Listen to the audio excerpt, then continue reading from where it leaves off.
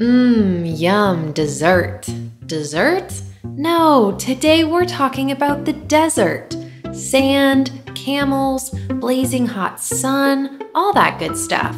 Welcome to the desert biome, which covers about one third of the Earth's land surface. Playing in the sand at the beach can be really fun, but playing in the sand in the desert is no walk in the park. These places are known for their extreme conditions, usually very, very hot and very, very dry. But even in the harshest places, life finds a way to thrive. Go nature! We've gathered some naturally wonderful things for you to explore on the Socratica Foundation website. Find more smart fun videos and downloads, fact filled games, and activities that help you learn and remember. Find the link below. When you picture a desert, you might imagine miles and miles of burning hot sand and nothing else. But there are actually several types of deserts, including hot deserts like the Sahara and cold deserts like Antarctica. Each desert has unique features with different plants and animals who have a specialized set of tools that allow them to live there. Deserts are known for their lack of precipitation, receiving less than 10 inches or 25 centimeters of rain per year. That's very little water. Despite these facts, deserts are home to a surprising variety of plants and animals that are adapted to survive with minimal water.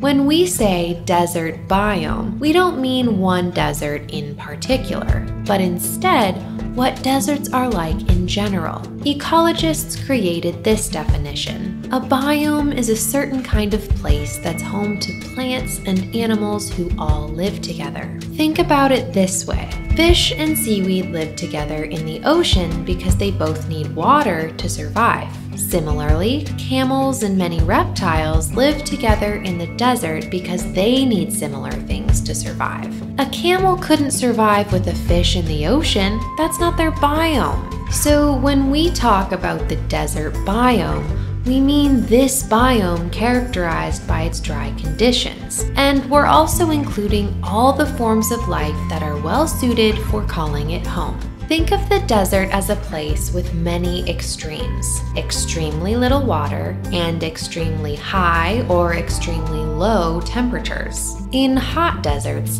daytime temperatures can soar above 100 degrees Fahrenheit or 38 degrees Celsius, while at night they can drop drastically 25 degrees Fahrenheit or negative 4 degrees Celsius but sometimes they can even get below zero or negative 18 degrees Celsius. That's like changing from a bathing suit into a winter coat every single day.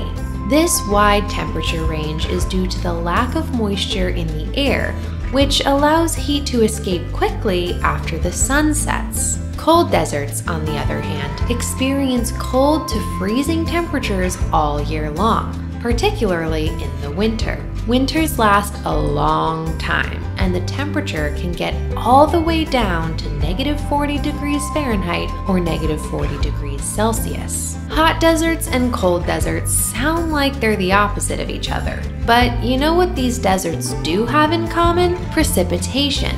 That is, the lack of precipitation. There's hardly any. Rainfall is infrequent and unpredictable in the desert biome, often coming in short, intense bursts that can lead to flash floods. There are many reasons why deserts don't get much rain. Deserts are often far away from the ocean or any water source for that matter, so there's no water close by being evaporated into the sky so it might form rain clouds. Even the air contributes to the deserts being a dry place. The little bit of water in the sand evaporates into the warm, dry air. Hot air rises, and if there's a breeze, whoosh, it carries that little bit of water vapor away, leaving the desert even drier than it was before.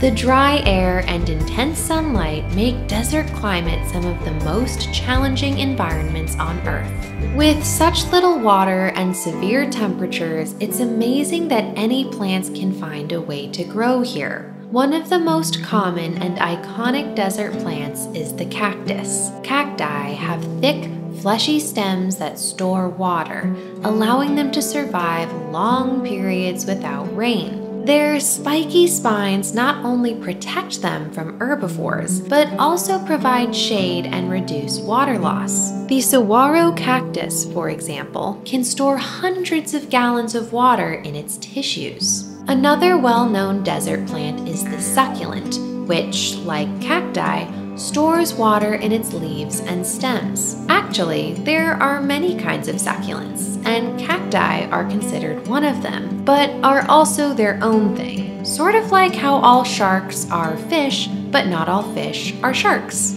Succulents often have shallow root systems that quickly absorb moisture from light rains. The aloe vera plant is a popular succulent known for its medicinal properties. Desert shrubs, such as creosote bushes, have small, waxy leaves that reduce water loss.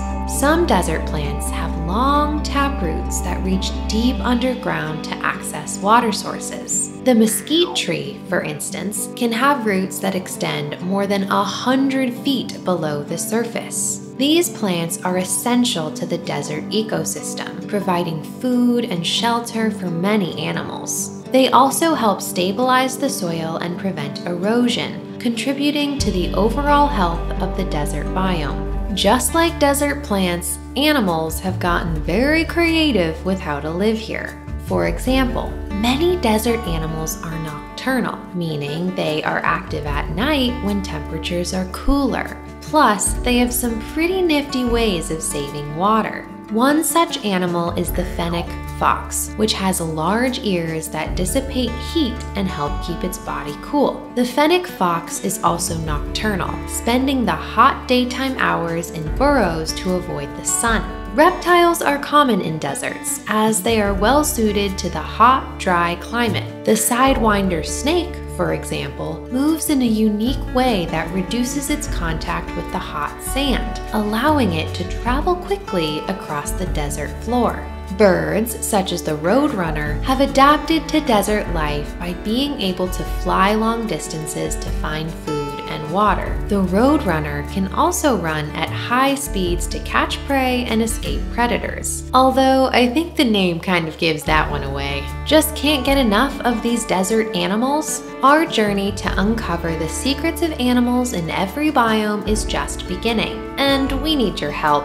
By donating, you'll help us fund our next video series all about animals living in each biome. Support our nonprofit and be a part of this wild adventure. Donate now, linked below. As is the case with most things on Earth, all deserts are a little bit different. Many people don't realize that deserts can be found on every single continent.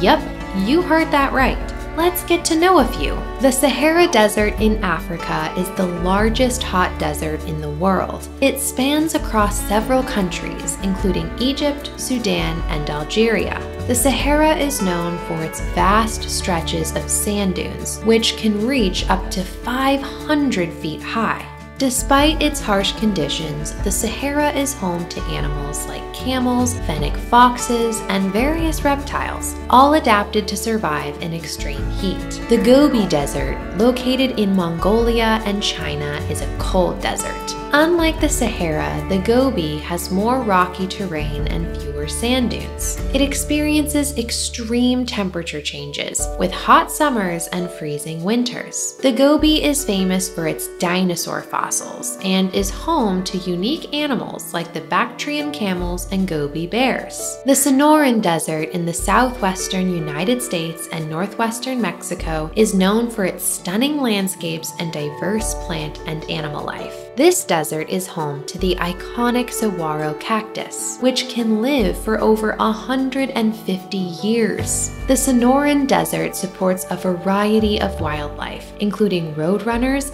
coyotes, and Gila monsters. The Antarctic Desert is the largest cold desert, covering the continent of Antarctica. That's right, Antarctica is a desert. This desert is incredibly cold and dry, with ice and snow making up most of its landscape. The Antarctic desert is home to hardy species like penguins, seals, and various types of algae and lichens that can survive in extreme cold.